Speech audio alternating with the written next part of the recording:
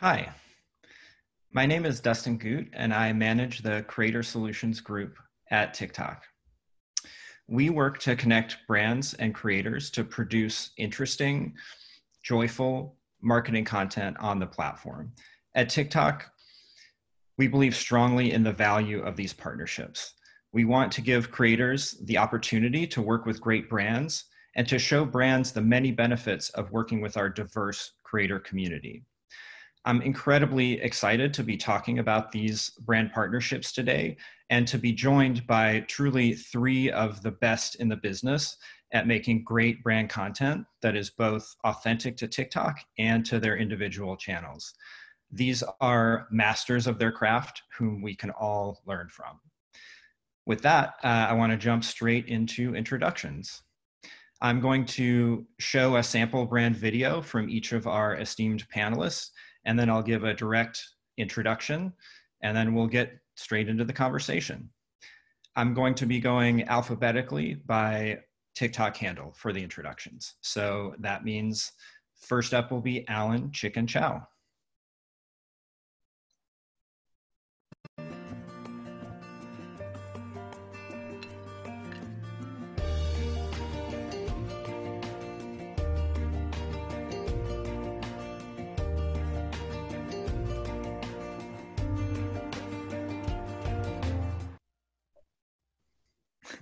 Hey guys.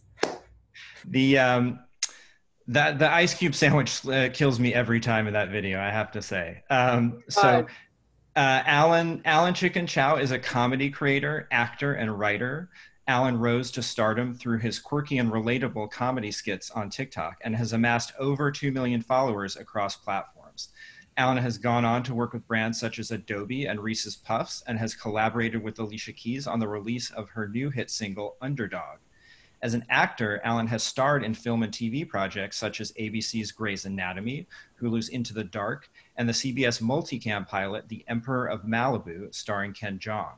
Through his work, Alan is passionate about celebrating what makes us different and bringing us together with what makes us all human. Welcome, Alan. Thank you so much. I'm so excited to talk to you all about brands. That was a really fun one because that ramen we actually ordered from DoorDash and we're like, oh, this is so dank. So I'm excited to speak to you guys. Awesome. Uh, so our next panelist will be Cosette.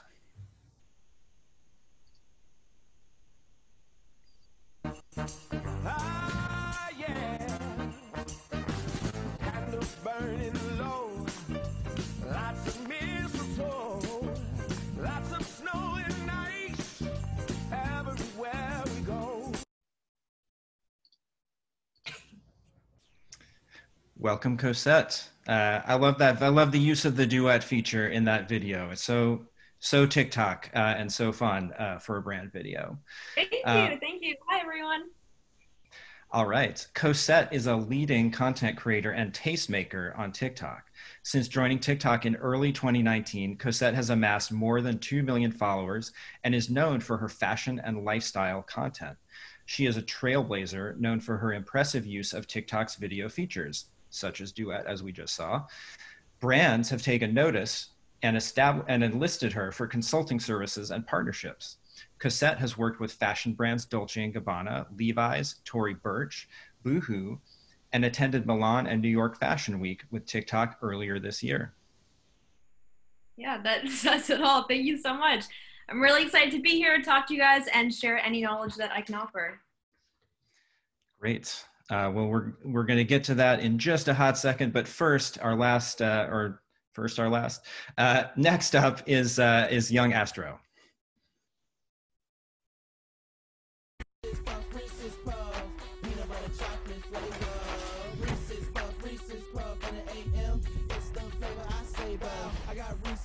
in my bowl. On cruise control. I got Reese's puffs in my bowl. And just like that, I'm on the road. Awesome. That was indeed an original Reese's Puffs rap, you guys. Uh, you you saw it here. Um, Yung Astroo, born Anthony Haynes, is an American entertainer, actor, director, and content creator, as well as storyteller. Yung Astroo's content is based around real life situations, whether it's family life or everyday episodes. He takes situations and crazy circumstances and turns them into cinematic and very dynamic commercials. Yung Astroo is an artist and a cinematic philanthropist, all while taking notes, paving the lane for others, constantly building a brand, and leaving a trail of great business along the way. Welcome, hey, Yung Astroo. Thank you. Thank you guys for having me here. It's such an amazing opportunity to, to speak on a panel like this. Forever grateful for it. And yeah, I'm, I'm so happy to be here. I'm like really excited to be here.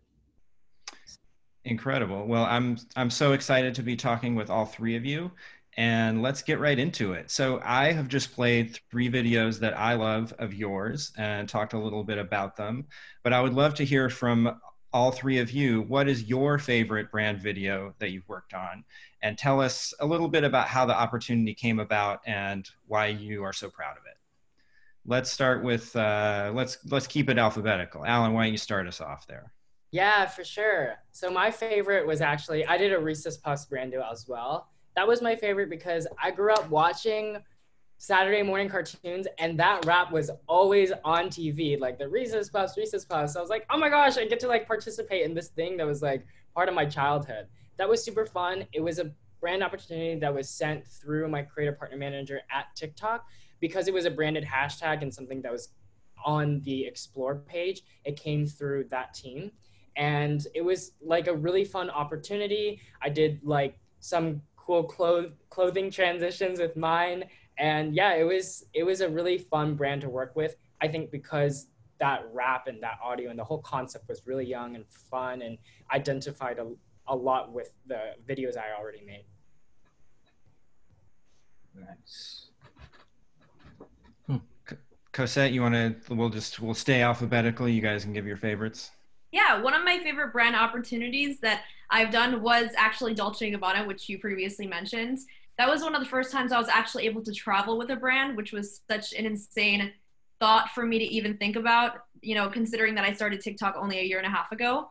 But yeah, it was just like combining everything that I love. I have been obsessed with Dolce & Gabbana my entire life, but have never really been able to rock it because, you know, it's expensive. But uh, it was it was a trip to Milan for Milan Fashion Week. And one of my favorite parts was that there were a ton of creators on the trip. It was coordinated as well through TikTok because it was such a large scale. So many creators uh, were at the show shooting content. So it just made for a very collaborative experience. And plus, I got Dolce and Gabbana out of it. So it was a dream. Astroo. Well, bouncing off of what Alan had mentioned, you know, the Reese's Puff ad was my favorite ad as well, mainly because of how, you know, nostalgic it is and it just it hits home with me. You know, I, I grew up eating Reese's Puffs. I love the candy Reese's. I watched you know all the commercials, and it's like who don't know who Reese's Puffs is, and to receive like an opportunity like that is like one in a lifetime. And I got that opportunity through my creative agency, I Ate Agency, and they presented it to me, and I was like, oh, this is this is this is huge. I'm not about to like play around with this. I'm about to you know go crazy on it, and that's what I did. And you know, it just that was, that was my favorite one out of all the advertisements that I've done so far. It's definitely the Reese's Puffs video. Awesome. Well, yeah, it it definitely came out amazing. Uh, and I want to move on to get to the question that's on everyone's minds who's uh, attending this session, which is how do I get these deals? How can I get in on this amazing action? And I want to go back to you, Cosette, because you were talking to me about the Dolce and Gabbana opportunity, um, and uh, some and how you felt like some of the things that you were doing with your channel, maybe leading up to that, helped um, helped create that opportunity for you. Could you elaborate a little bit on that? Yeah, one way that I love kind of manifesting in a way, but more literally, brand deals that I really want to work with are by seeding the product. So, for example, Dolce Gabbana and just like any high fashion brand, I really wanted to break more into that type of industry for my content, especially around Fashion Week. It just aligned a lot more with what I was doing. So I started seeding these products into my video, incorporating if it was Dolce & Gabbana that I wanted to work with, I would incorporate more high fashion, high end brands into my content so it seemed more organic and natural. And when they saw that, it made more sense for their type of content. So seeding is definitely something that I do a lot with my content. even if it's not necessarily intentional, if I'm not, okay, I really want to work with this brand, so I'm going to put the products in. Just naturally by incorporating products that I love and brands that I love, it usually leads to some type of opportunity down the road. Amazing. I uh, would love to throw throw the same question out to to the other two. Uh, just how do you get noticed by brands? What are some things that that creators can think about to increase these opportunities for themselves? Well, for me, I feel like you know my thing, my biggest thing is quality. You know, quality over quantity. So I always make sure that whatever I'm putting out looks the best. And I could take like you know, just an everyday snack that I would eat, like Gushers or something like that. I love Gushers. And one day I want to work with Gushers. So just like Cosette said, you know, seeding that product into my content, manifesting it down the road. I always have been doing that ever since I started making content. Um, I always try to make myself marketable as well. You know, I, like when I make content, I make it to where it's like you can see this on like a TV screen, or you can see this in like a like an ad break of like a TV show or something like that. I always keep that in mind and always make sure that it looks like top notch, always. But that's like that's one of my biggest tips is quality over everything. Yeah, I completely agree with what you said. I think one common trait that all three of us uh, have is that we don't just make like easy videos, we really show in our profiles the ability to execute on a concept. Because whenever a brand comes to you, they have a company mission, they have a mission behind their specific ad that they want the creator to be able to execute on. And so, whenever you're representing the face of the brand, they want that to be aligned with their brand and a high quality video. So, as much as you can make your profile into a resume of sorts where they're like, oh, wow, this person does make high quality videos. They're able to execute on concepts and ideas and also has, you know, family friendly content, nothing that would embroil them in any type of controversy. I think that looks really good to a brand. Always thinking about empathizing yourselves in their perspectives. What type of creator would they want to see as the face of their brand? Yep. That's that's big. You always have to make sure whatever you're putting out will be okay with you know younger people watching it or showing their parents or something like that you know Yep, yep, or a uh, uh, or a marketing manager showing their boss, which is yes. uh, which is often how this uh, is is happening. Um, yeah, I think thinking of videos as your as your personal resume for these opportunities is an, is an awesome point. And uh, Cosette, it was a point that you were making again when we uh, had had our prep talk um, about the process of building up that resume when, when you're just starting out maybe you haven't had a, a lot of these uh, brand deals to start. Can you talk a little bit about um, again people earlier in their career in their tiktok journey um, can think about building that resume? Yeah that's huge. I mean nowadays instead of a business card you have your tiktok your instagram whatever it is. It literally is a portfolio and brands are looking at that. So you know when you first start on TikTok, you don't get brand deals immediately. It, it builds up over time and you have to build those relationships. So there's no shame in reaching out to the brand yourself, which is a lot of what I did both in the beginning and years ago when I had a fashion blog, I was emailing like 100 brands a day trying to get some type of deal. So you're never going to have something to show for a brand deal unless you start out you know you have to start somewhere basically. So what i was doing was writing out a template. In when i was 14 years old running a fashion blog in my freshman year of high school i would write out a single template and find a ton of shops that aligned with what my brand was on my blog. And you know just send out massive amount of emails every day and just ask in exchange for merchandise because brands are not always going to want to put a budget towards you if you just start out and you don't really have anything to show for yet so I think there's um, there's a lot of value in taking those either uh, you know lower budget deals or even just doing deals with brands that you really like to just have content to build up. Well, that's what something that I've done over time, and again, it builds those opportunities. So if you do a ton of smaller and brand deals with smaller companies, then when the gushers comes to you, you know, the gushers or the Dolce Gabbana, whatever it is, you have something to show for work that you've already done. Yep. And just like just I want to make want to make like a quick comment about like working with like smaller brands that don't really have like a budget or anything like that. I feel like oftentimes some creators they that's what they're always looking for is like money or trying to get like something from a brand and that's also crucial as being a creator it's not always about getting paid about something sometimes you just might need some exposure or you can build a relationship with a brand.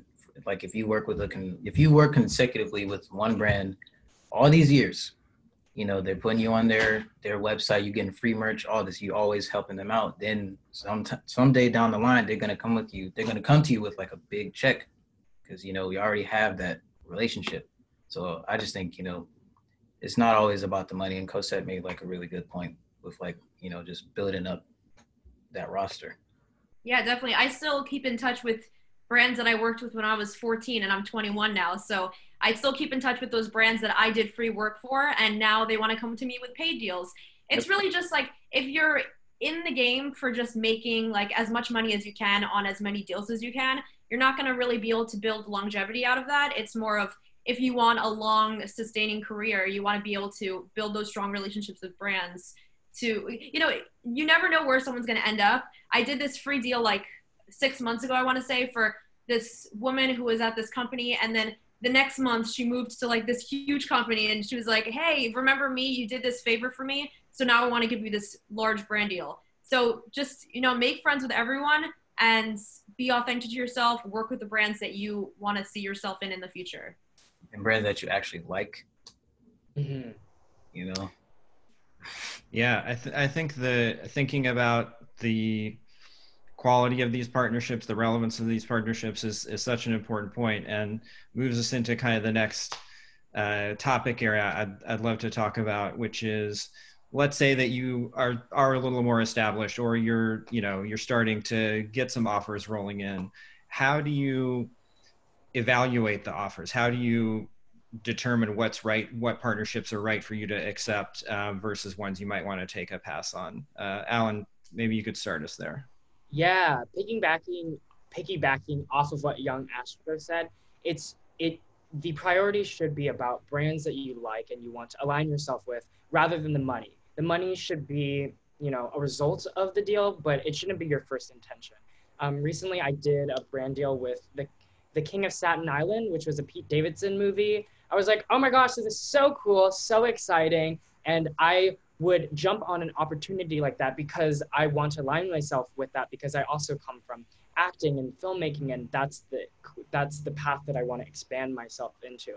I think that taking deals like that align yourself with that kind of um, those brands and that feel and and that's what people gather from your profile rather than maybe promoting like a ton of smaller apps or like like like likey my likey my panda app you know like taking like 50 of those to for all those small little monies. Or even if an app like that which you don't really align yourself with doesn't align with your audience they do offer like a large sum of money. I think really just making sure that you are being very particular with who you want to align yourself with. Uh, so yeah. Yeah i could not agree with that more. My dad says work smarter not harder and it literally builds on the idea that it's better to wait for those larger opportunities that really, you know, you feel passionate about and align more with your brand than take every single deal as it comes. And when you're evaluating these brand deals that come through, it's so important to be picky and be very like skeptical about what brands you want to work with because it is your personal brand that you're protecting and any brand that you work with is going to then contribute to what your brand image is later down the road. One thing that I feel very personal about, for example, is skincare. I'm very, very, you know, particular and picky with skincare companies that I work with because I have a history of acne and I struggled with it a lot growing up. And I fell for all those like Instagram posts of random acne products growing up. And that's something that I feel very strongly about. So whenever a skincare company will reach out to me, I'll ask them to trial the product first for at least two weeks to see if it works well for my skin and make sure that I'm advertising something that I actually like and that works well for me because you know i it, it just builds on the whole i want to be as authentic with my audience as possible. And I, I want them to i want to share with them products that i love and i don't want to be faking anything. Yep. And i just feel like you know sometimes it's okay to say no. Mm. you know it's it's it's cool to be like nah I, that doesn't really align with the type of creator I am. And I have a whole audience that's looking at me for a specific thing. If they see me promoting like a company that's all about like smoking cigarettes or like a whole bunch of violence and stuff, and, they, and I'm promoting that, they about to look at me like, oh, that's what you're into. I don't think I want to follow you anymore. I don't think I want to support you anymore. I, now I'm losing supporters because of that one deal that could have yeah. saved me from like thousands. And you know, everything is like every deal you get because people going like as as as much as you grow, you're gonna get a lot of brand deals. You're gonna get a lot of advertisements. People just throwing stuff at you, throwing money at you, and if your audience is looking at you like you're just taking all types of deals. Like, what are you really in this for the passion of creating content, or are you just trying to like come up? You know, that's why I don't take every every advertisement that comes my way. I say no, you know, especially if it doesn't align with the type of person that I am. So I think that's you know just like Cosette and Alan said, you know, they made very valid points. You know, just yeah. stay true to yourself always stay organic because people can definitely tell when you're faking something. You can't. It's just not going to fly. Very true. Yeah, stay stay true to yourself. I think is never never bad advice in in any arena. Uh, but I think it's such a, an important thing for people to hear you guys say it's okay to say no. I think that can seem really scary, especially if you're earlier on and maybe you're not getting a lot of deals. It it can feel like I don't want to offend people or alienate people but in my experience you actually get so much respect for saying no because you're being true to yourself and as cosette mentioned you never know where people are going to end up you might tell someone no this brand is you know doesn't align with me but then they end up at some other brand a year later and they're like actually this brand i think is so much you know a better fit and and they're going to respect that you um you know that you only accept things that are going to work for your audience uh, and I, I, think that ends up benefiting you very much in the long run. Yes it does. Your image is important. Yeah.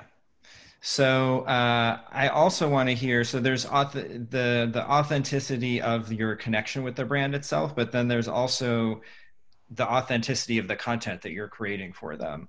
Uh, so i really want to hear how you guys go about planning that content once you've taken the deal uh, and and how you weave the brand in in, in an authentic way for you. Uh, Astroo, maybe come come back and start with you. What's your uh, creation process like? Right, cool. So let's just say I get a brand deal or something, and they require me to come up with like a couple concepts revolving around what they're trying to get me to, you know, create. Now I'll pitch them my concepts. They may or may not like it. You know, let's just say they don't like it, for example. If they don't like it, then they'll give me what they want me to do instead. And I'll look at that and be like, okay, well, let me see how I can still incorporate my creativity, like my own spin on what they want me to do so that it still appeals to my audience. Because if I'm just making something and it don't have it, like if, if my if my viewers are watching an ad and they're like, this doesn't even feel like Astroo, like Astroo would not make something like this. They're not gonna watch it. Mm-hmm. But if I like take what they want me to do and I put my spin on it, the viewer's not gonna know if that was my idea or not because I have my sauce in it. Now that doesn't happen all the time, but you know when I have when I have my own sauce, people know that that's a Yung Astroo video. so you know, no doubt. It, all, it, it just depends. Like you, you don't also want to walk away from a deal like that because it could be something that you do like. They could be offering you a good amount of money, and just because y'all not seeing eye to eye on a concept doesn't mean that you have to like abandon the whole thing as a whole because you could one you could mess up on missing out on money and you could mess up a relationship.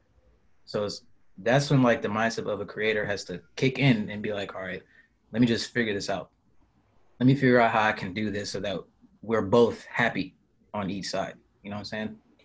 That's that's what i do Awesome. Would love to hear from from the other two, just your um, your creation process on these. Yeah, I'll pop in.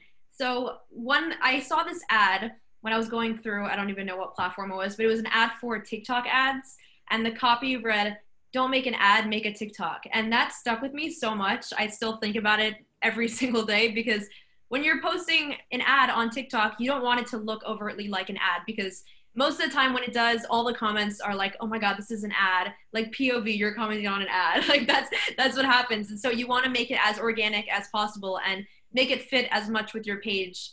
Just as Astroo said, you know, you want your audience to just think it's another video, but incorporate a product in it at the same time. And when you're working with a brand and you're brainstorming these ideas, again, as Astroo said, you may pitch a concept and they're not crazy about it, but it's called a collaboration for a reason. When you're working with these brands, you want to brainstorm as much as possible and come to a conclusion of a concept that you're both happy about. And some brands have to be convinced a little bit more on making a more like TikTok authentic video because, you know, I've worked with a brand in the past that knows exactly what type of ad works on Instagram and they wanted to replicate that on TikTok which doesn't necessarily work. You know, it's different on every platform, but it, it takes a conversation and it may take a little bit longer to decide upon something that's mutually agreed upon, but it'll be worth it in the end because you'll make the brand happy. You'll come to something that doesn't feel like a sellout on your page. And, you know, that, that just opens opportunities for more videos in the future. Yeah, I completely agree with that. It's super important for your video to feel like it's part of your profile because that also allows it to have the most virality for it to potentially pop off too. And that's what you guys both want the brand and the creator want that video to, to be successful. Um, in terms of like literal process with working with brands, generally they'll send like a breakdown of what they want it to be with, again, like a mission statement, a breakdown of certain points they want to be hit. I usually study that really hard I'm such a nerd from school, and I'll really just circle and make sure that like if they say certain vocab words are important, like irreverent or young and fun, like to really incorporate that so you can decrease the amount of back and forth with the brand as possible. And then again, like Cosette said, whenever you get a note, it's really important never to demonize the note or take it personally. You guys are both just human beings trying to create the best product possible. And so just putting your brains together to create something that you guys are both happy with is the best case scenario and making their jobs as easy as possible because you want them to come back to you with another brand deal. So like the best feeling that you want to give them was like, oh my gosh, Cosette was so easy to work with. We got to a video so easily and it did really well, you know? So as much prep work as you can do to make that process easy for the both of you guys is the, is I think the best way to go about it. Yeah, not taking notes personally is so huge because nobody wants reshoots. Ideally, like in the perfect world, you come across or you come upon the perfect video right away, but you guys both want the same goal. And so, you know, they're going to have notes, you may have notes, and that's just what the process is. So, it's so important to just not take that at heart and yeah. work hard, come up, come to the best video possible and everyone will be happy. Yeah, it's like the concept of improv. Like in improv, you're never supposed to negate any ideas that people throw out. It's always yes and. And so I think the same thing works with any collaboration with a brand or even just with biz- people in general always building upon ideas rather than like being like, no, not for me. and Cosette, you told me about kind of a unique solve you had on one of your deals, which probably won't necessarily work in every situation, but I think it's interesting to for people to hear the type of problem solving you can go through with brands. Uh, do you want to talk about the how you kind of handled a, an impasse you had on um, uh, like a brand pushing a concept that um, you were you were a little skeptical of?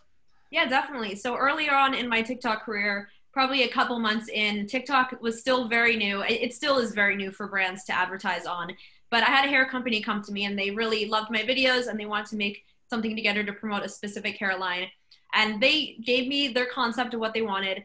And upon looking on it, of course, you have to take into account what the brand wants because you want them to be happy. But I noticed that it was very traditional, like professionally shot. They wanted it against a white backdrop with, you know, full lighting setup and just something that didn't really seem too TikTok like for me. And so I came back to them and I pitched an alternate concept of something that is more TikTok like. So the first video, they just wanted me to do my hair against a white backdrop with sound playing in the background. And I pitched, you know, what if I just did a selfie video like in the mirror in my bathroom and did random like hair color all over and saw what the results were. And they were like, eh, I don't know. I don't blame them for being skeptical so early on in TikTok, but some brands are just really stuck to you know what they're used to and what they know works so I, it was actually luckily a two video deal that I had set up with them. So I said, as a compromise, okay, how about I try the first video is the professionally shot one that you want, and then for the second video, I can try my own spin if you're okay with it. And if it doesn't perform well, I will do, you know, your professionally shot. That's completely fine. But could you just give me a chance and like let me? I, I just wanted to prove to them that this type of content does work better on TikTok for that situation, since it was early on and they were kind of taking a chance with trusting my idea because TikTok was so new, I did give them the option of if this doesn't perform well, I'll still redo another one, which was a unique situation. But I posted the professionally shot one. It performed okay, like nothing outstanding. And then I posted the like, you know, rugged selfie video of me being like, oh my God, my hair, like what's going on? And that video like blew up. I think it got like half a million views in 24 hours. And they were like, oh, okay, we understand now. Like, yes, can we go with that style? We love it. And then moving forward in their future deals, I noticed that they went a lot more with that TikTok style. So sometimes it takes brands a little bit more convincing, but uh, again, you just have to trust your gut. And a lot of the brands, like, yes, they may be professionals at different media outlets or, you know, Instagram or TV commercials, but they know that you're the TikTok expert per se, and you're the one who knows your platform and audience better than anyone else. So it, it just takes convincing, but again, it's a collaboration conversation between the creator and the brand. Yep. Um, I I love that story. Just again, I don't think that's something everyone's going to do, but just kind of the unique problem solving approach that you took. Um, and also, Alan, you talking about nerding out over the brief and and circling things um, to me just speaks to the professionalism that you put into it. Um, and Astroo, I'd love to come to you because you mentioned professionalism is so important for you in these partnerships. Um, talk a little bit about what what being professional means to you. How do you demonstrate that? Okay, well, being professional when dealing with the brand is, you know, you have to you have to know what you're talking about. You can't just be, you know, you, they're not like one of your friends. You can't speak to them like a friend. You have to talk to them like very business minded.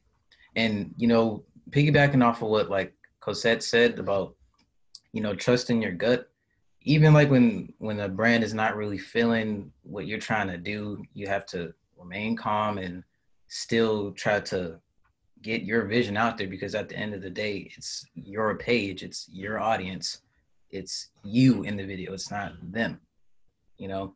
And you know, sometimes a lot of people have to see things to believe it instead of just you know listening to what you have to say so it's all about just remaining calm and trusting yourself and just not and when when someone tells you no you don't just like fly off the handle and be like well this is my page and this is what works for me you see i have all these numbers like all that type of stuff because they're gonna look at you like okay well he's a hothead i don't even know why we came to him in the first place let's never do business with him again you know, and stuff like that. So I just I just stay calm and I just know what I'm talking about. And I always try to get my vision across no matter what the circumstances because this is my page, this is my platform. I know it works for me. Yeah. Yeah, if I could hop in, what you just said, I love what you said about don't fly off the handle because I think with TikTok and you know it's so easy to build an audience, people have the tendency to think they're all that, you know, they know what's best, the brand should listen to me, but at the end of the day, the brand is hiring you and they are paying you. So you have to provide your services. It's so important to remember you are not above the law. You're not above everything because, oh, I have this many followers.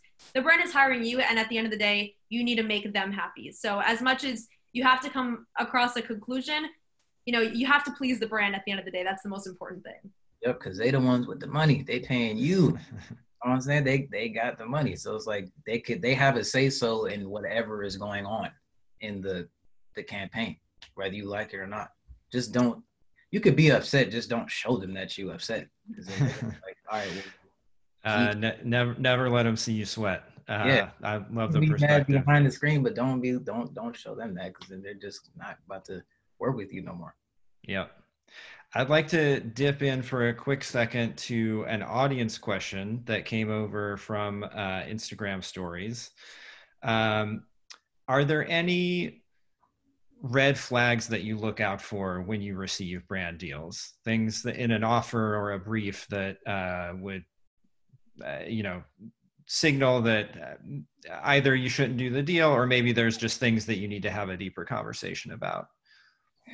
Well one of the main things i look for in a business email is the approach like how they sound when they're trying to get a business inquiry out of me. If they're if the email is like all clumped up in one section and it's not broken up into like what they want to do and they don't have no like no website name at the end of it then I know, all right, they're not legit. And there's no point of me like about to waste my time looking through all that.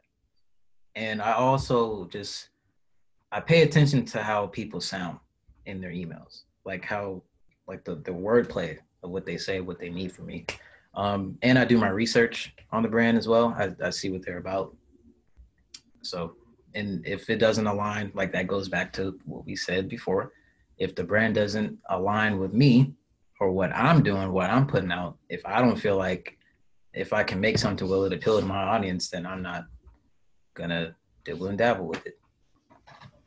Yeah, one of the biggest things that I always keep my eye out for, which I think a lot of smaller creators overlook, is licensing and what they're asking the rights for because you could sign off on a deal without like you know a smaller budget deal without even realizing you're signing away the rights for them to use that video for a year, five years, 10 years, however long it is. And a lot of times, smaller brands, I mean, the larger brands will usually, that will be part of the negotiation. But sometimes I've noticed brands try to get away with just throwing that in the contract and then you don't even realize it. And as long as they're able to use that video, your face is associated with that brand. So if, you know, let's say CoverGirl is using my video for five years, then any other company like Revlon or any other company is going to look at that and think, oh, well, now she's associated with our competitor. So licensing is one of the most important things that is so often overlooked. And as, again, for smaller creators, it can be very difficult to understand, but that's definitely something to keep an eye out for. Mm, that's, that's a big I, one.